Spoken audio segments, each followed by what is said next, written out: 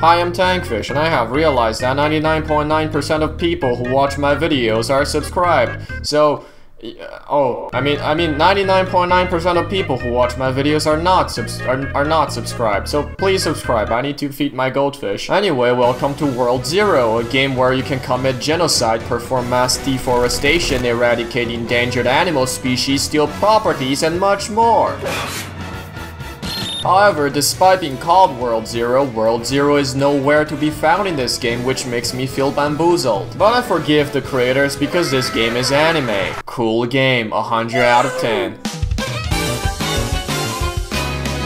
Just like my life, there's no lore nor backstory. But since it's anime, let's just pretend we got hit by a truck and got isekai'd. Just like any RPG, the first 30 minutes of gameplay consists of trying to find on Google which of the three starter classes is the best. It's Arcane Mage, by the way. And make your character look as edgy or as possible. After that, you'll be teleporting the game as an armed homeless person whose sole purpose is to murder, level up, get new stuff so you can murder more. Once you have murdered everything in every dungeon of a world, you can unlock the next world and commit genocide there as well. Each world has a unique set of monsters and bosses, and by that I mean the lazy ass devs just recolored existing models.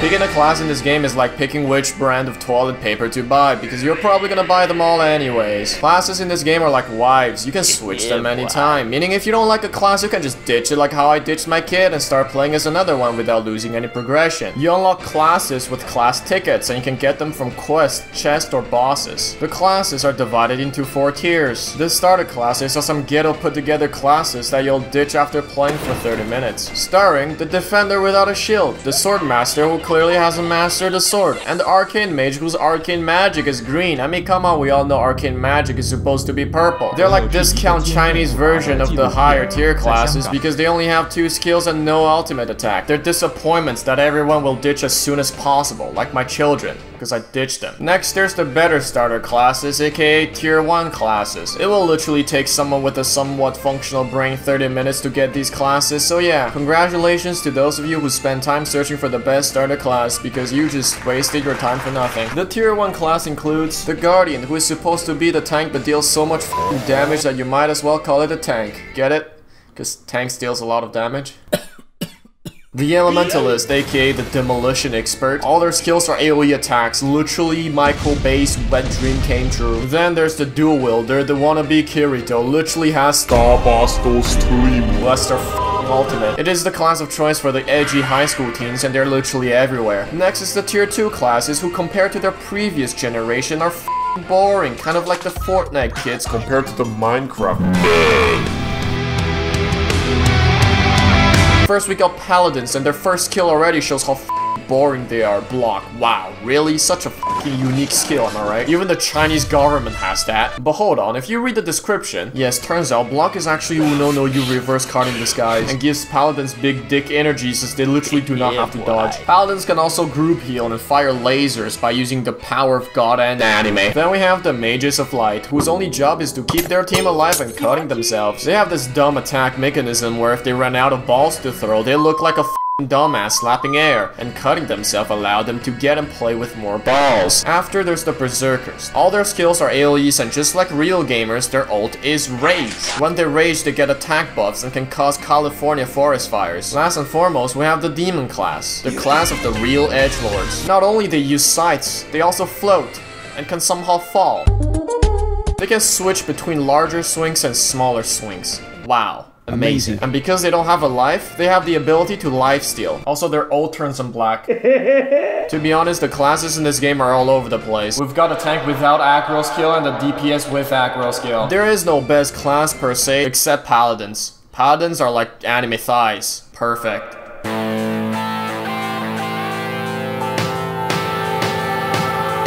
Different classes have different gears. No shit. You get gears by brutally murdering bosses or through quests, but those quests usually require you to brutally murder something anyway. The gears are classed into five tiers.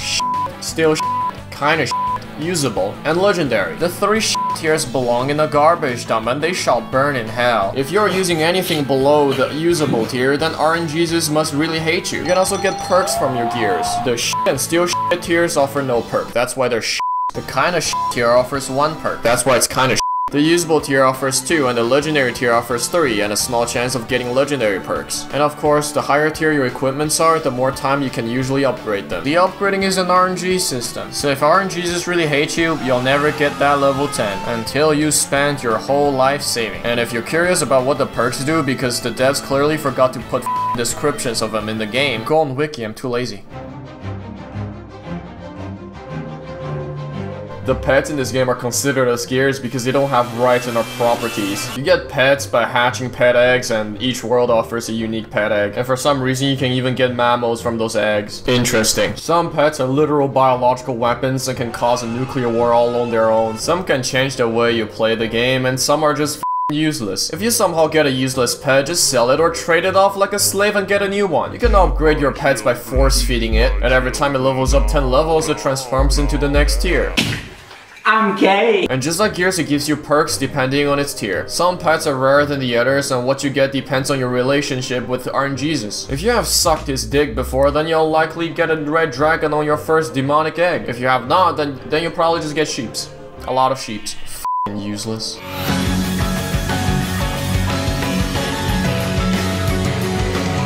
The World 5 offers a drastically different dungeon style. These dungeons have 15 floors and you get to fight a boss every 3 floors. On the last floor, there's the final boss. Now, after you reach level 60, you can no longer level up by collecting XP. You level up by praying to RNGesus. In this game, there's a small chance that you'll get a gear that is one level higher than your level. And after level 60, if you do get such a gear, you level up and you repeat the process until your max level. Since XP is no longer required, people just skip through all the monsters in the tower, just like me skipping my taxes. There are also chests in which you can find demon class ticket and eggs. Once the key and the exit has been found, you have exactly 70 seconds to get your fat ass to the exit or you'll be snapped by Thanos. And there is always gonna be this one greedy motherfucker who has to get that chest in the trap room when the exit is activated and kill you in the process. Don't be mad, you can always track his IP and send a hitman to him. You can only get the legendary drops from the final boss, and it drops 4 chests instead of 2. Nice.